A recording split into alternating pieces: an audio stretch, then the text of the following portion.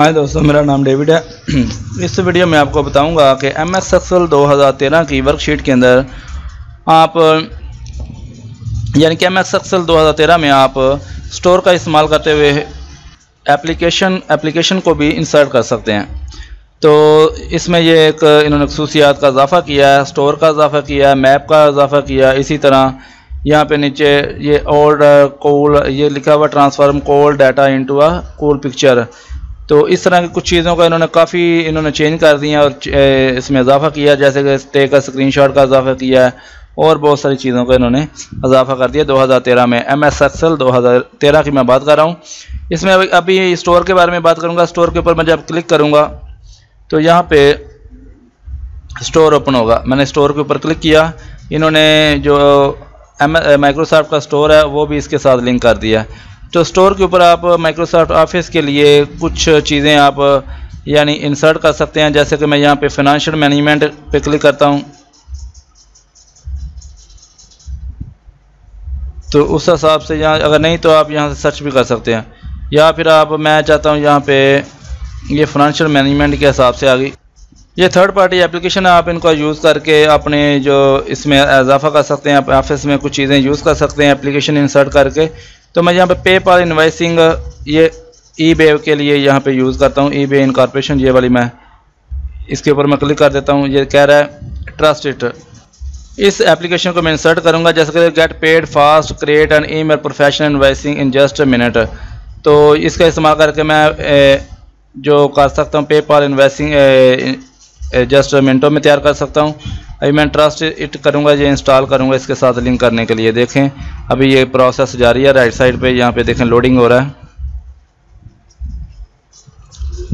तो दोस्तों, ये आप थर्ड पार्टी एप्लीकेशन इंस्टॉल कर सकते हैं। जैसे कि आप देख सकते हैं, यहाँ पे ये आ चुका है। Imported action required access investing workbook और मैं इसे कंटिन्यू करता हूँ। देखिए मैंने ये इंसर्ट कर दिया।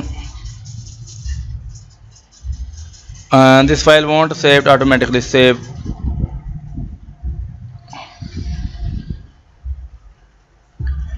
ठीक है कैंसिल करता हूँ, लेकिन कंटिन्यू और जस्ट ओपन करता हूँ ओपन पे क्लिक करता हूँ सॉरी यहाँ पे मैं ओपन करके इसको यूज़ करता हूँ, ना के।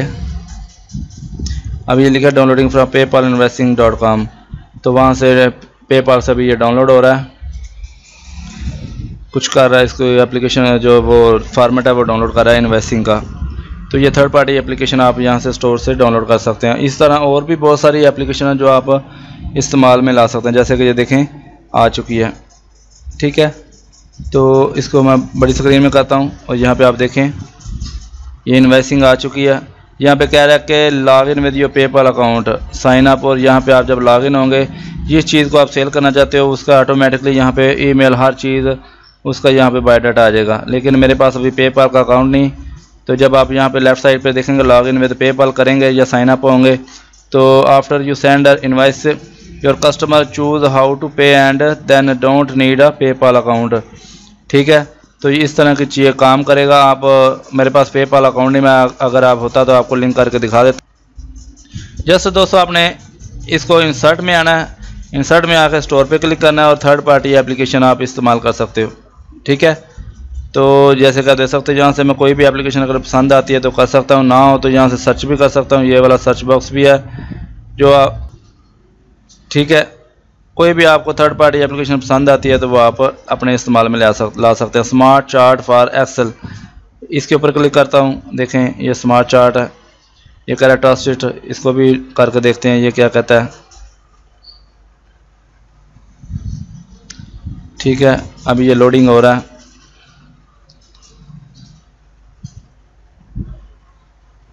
दोस्तों, बहुत ही सिंपल अभी मेरे पास दो फ़ाइल ओपन हो गई हैं, ये देखें। यहाँ पे ये ओपन हो चुका है। अभी यहाँ पे ये कुछ अजीब सा शो करवा रहा है। मैं इसको क्या करता हूँ कि इसको बंद करता हूँ, नए सिरे से ओपन कर लेता हूँ। यहाँ पे मैं स्टोर पे आता हूँ दोबारा से। ये मैंने शीट ओपन की हुई है। दो application sorry M S Excel के जो फ़ाइल ओपन थी, यहाँ पे ये वाली है। Smart chart for Excel trust तो इसको आप यहाँ पे ठीक है, अभी लोडिंग हो रही है। ये देखें। ठीक है यहाँ पे हो चुकी है। कोई भी डाटा आप इस, इसके ऊपर क्लिक करें। कंट्री स्टेट ये चीज़ें यहाँ पे ऐड कर सकते हो ठीक है? कनाडा ख़त्म करेंगे तो ख़त्म हो जाएगा ठीक है? कंट्री है कंट्री कैटेगरी कौन सी है? यहाँ पे आप ये सारी चीज़ें आप अपनी मर्ज़ी से कर सकते हो ठीक है? ट्वीट दिस एप्स एट्सट्रा तो दोस्तों सिंपल सा आपको बताया तरीका का सिर्फ़ समझाना तो यह था कि आप स्टोर को यूज़ करते हुए आप अपनी एप्लीकेशन डाउनलोड कर सकते हैं डाउनलोड करके उसको इस्तेमाल कर सकते हैं, जो भी आप करना चाहते हैं। स्टोर पे जस्ट आपने आना है स्टोर पे आके आपने यहाँ से आप सर्च भी कर सकते हैं। ये वाला साइड लेफ़्ट साइड पे आप देख सकते हैं यहाँ पे एप्लीकेशन के लिहाज से यहाँ पे आप डाटा मौजूद है डिटर पिक्स एजुकेशन जिस तरह का आप चाहते हो कि वहाँ कैटेगरीज में से एप्लीकेशन स्टोर से एम एस एक्सल के एम एस ऑफ़िस या माइक्रोसॉफ्ट के स्टोर से आप इसको डाउनलोड कर सकते हो। क्योंकि ये थर्ड पार्टी जो एप्लीकेशन आप एम एस ऑफ़िस से 2013 के साथ यूज़ कर सकते हैं। गेज प्रो भी है, इसके साथ इसके ऊपर आप क्लिक करेंगे। जैसे कि लिखा प्रोजेक्ट अभी ट्रांसलेट करूँगा तो इसके एप्लीकेशन यहाँ पर इंस्टॉल हो जाएगी। अभी देखते हैं, अभी जो लोडिंग हो रही है। इंटरनेट कनेक्शन भी आपके पास होना चाहिए।